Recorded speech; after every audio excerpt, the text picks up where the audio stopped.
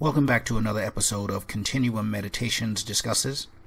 This episode will be shorter than my usual in depth discussions uh, because today I just want to talk about the latest episode of 24 Legacy hours, 6 p.m. to 7 p.m., that premiered last Monday and I want to frankly discuss how disappointed I was with this particular show, especially in light of the return of an iconic character from the original 24 series, Tony Almeida. Now, I will warn you out of courtesy that there will be spoilers in this episode, so if you have not seen the latest uh, episode of 24 Legacy, uh, please feel free to turn this off and wait until you have had an opportune time to watch.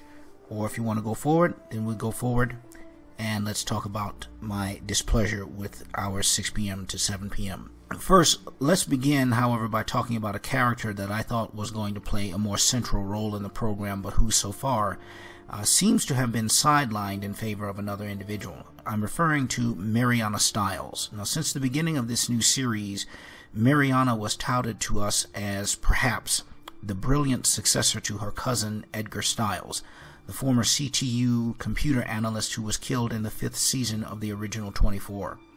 She was made to appear as an individual of certain hidden but apparently precocious talent in computer programming, talent that was suggested could potentially and maybe even eventually run circles around her superior, Andy Shalowitz.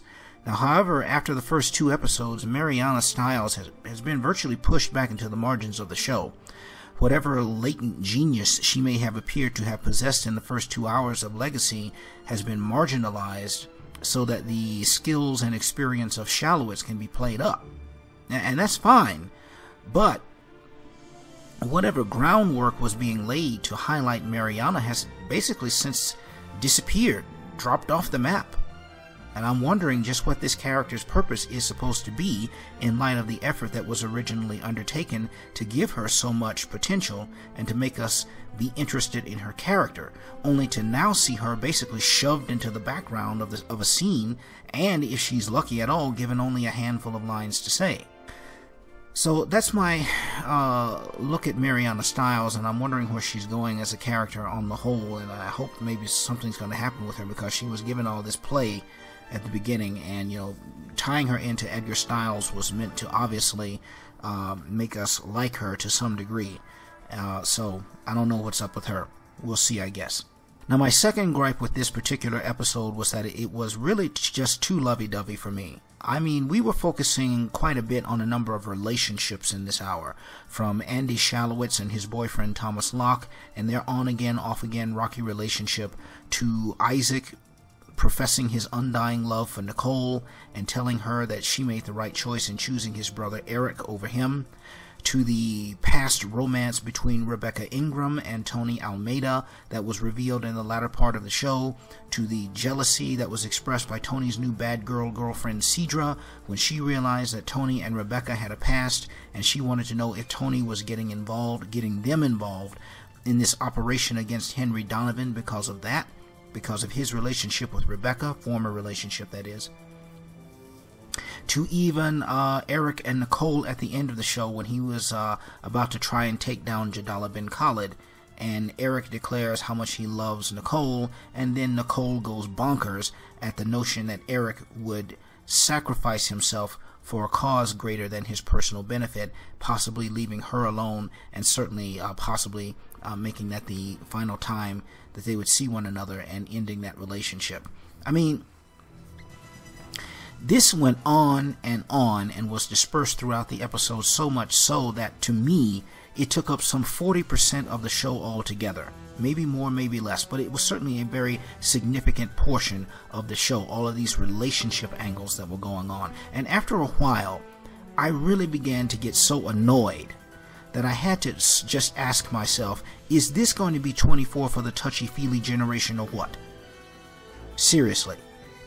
I mean, I do appreciate that they are trying to distinguish 24 Legacy from the original 24, but honestly, I have to say that this episode didn't just bore me, it was tedious and tiresome to watch.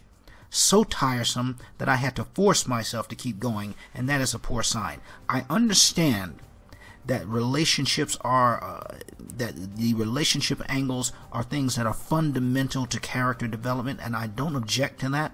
I do object, however, to it taking up so much of the show that nothing else of significance really got the focus that it deserved. They focus on Eric's efforts to try to take down Jadallah bin Khalid by using Andy Shalowitz and the pretense that they were actually going to try to fix the flash drive. The uh, more serious aspects of what was going on between Henry Donovan and Tony Almeida and Rebecca Ingram, where they were going to torture him effectively to get him to admit that he actually helped Jadallah bin Khalid's people get to Eric Carter's Ranger unit. The more important aspects of the show that were going on when Senator John Donovan found out that his father was missing, and he found out from his wife that she had his father at a black site and that she was possibly going to torture him for information.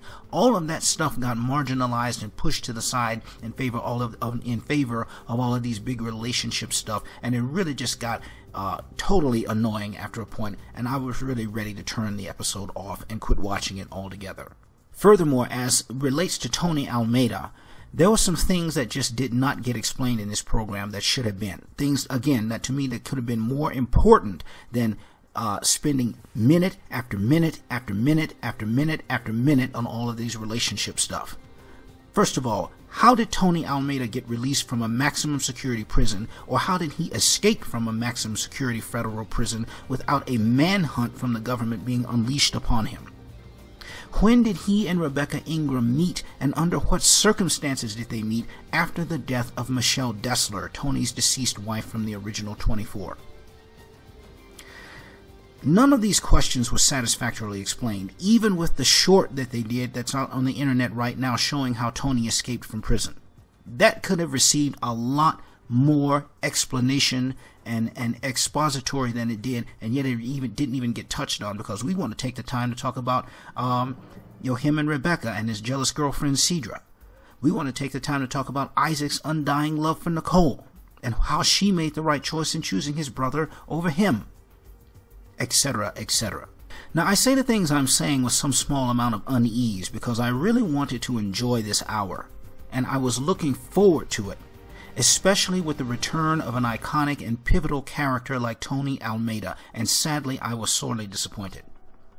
And speaking of Tony's return, when he finally comes on the scene, he's barely used for anything but filling in screen time. I mean, it's like, hi Rebecca, long time no see. Yes, yeah, Sidra, me and Rebecca had a fling once, but don't worry about it. And hey, Mr. Donovan, I'm going to bore you to death with threats about what I'm going to do to you if you don't tell me what I want to know, but I'm not actually going to do anything to you.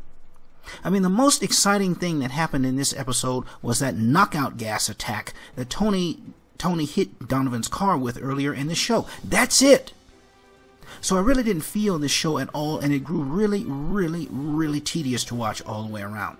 Now, the other thing that struck me about this episode, which gets back to this touchy-feely stuff that I was mentioning before, was this interplay between Andy Shalowitz and his boyfriend Thomas Locke. Now, we see at various points in the show that Shalowitz is apparently a very clingy, needy, whiny, and insecure individual, things that he readily admitted to earlier in the program. But even seeing him admit to it did not take the bad taste out of my mouth that I had for him because he really seemed to me to be someone who lacked self-control and self-mastery over his, his own emotions something that really turns me off when I observe it in people. But even so, having having to sit and watch what amounted to minute after minute of, after minute of this nonsense was monotonous and it became odious at some point for me in the show. Now, I suppose this is how Andy Shalowitz is going to be played throughout the program.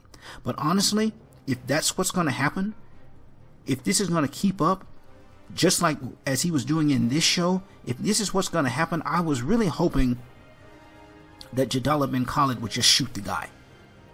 And, and I mean just shoot him and get it over with.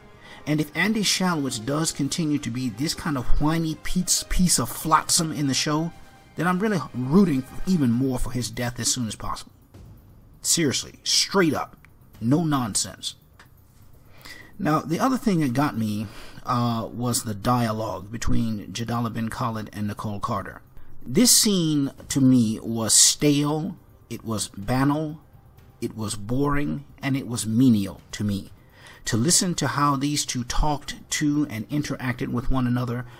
When I watched Nicole's responses to Jadallah bin Khalid in the show, I could not help but sink into a morass of depression. And I want you to listen to some examples of what I mean. Horrifying, isn't it?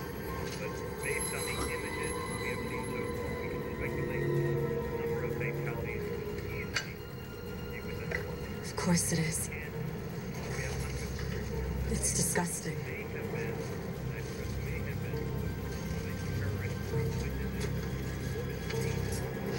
But if you think this will make Eric do what you want, you're wrong. Oh, but he will, though. He will because he loves you. And once he's done, I'll kill him.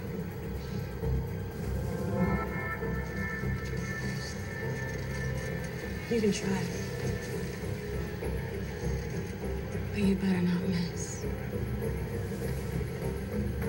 Because I promise you, he won't. Now, it's disgusting. That's the best she could say. I mean, for God's sake, woman, you are in the presence of one of the greatest, wannabe anyway, terrorist masterminds of our time, and the best you can say is, you better not miss because my husband won't. How many times have we heard this kind of trivial, menial dialogue in the past? I mean, for crying out loud, I'm not looking for Shakespeare here, people, and I understand that Nicole Carter is not anyone special. She's an average, everyday girl thrust into extraordinary circumstances. But for God's sake, writing team, do something to make this chick stand out a little more than that, especially in the presence of the main fracking villain of the story. And speaking of Jadallah bin Khalid, next gripe. wow, I, I just can't get over how much I could could not stand this episode. Speaking of Jadallah bin Khalid, I realize that Mr. bin Khalid is playing the long game, okay? And he's playing the long game because he wants all 15, now fifth, now 14 actually, of his sleeper cells to attack at once, simultaneously, as was his father's original plan, which is, in my opinion, a brilliant, far-reaching, and far-seeing plan. But Jadallah bin Khalid is also playing the long game because he's looking down the road, not just to the attacks themselves, but what impact they will have on American society, on American policy in the Middle East, and, in a broader sense, what impact they'll have on the West as a whole toward the Arab Muslim world. In other words, Jadallah bin Khalid is not just trying to make one short-sighted and short-range statement that will last the next five years and be forgotten. He is trying to make a long-range, far-sighted statement that will last the next hundred years and be remembered, not just by the West, but by the world.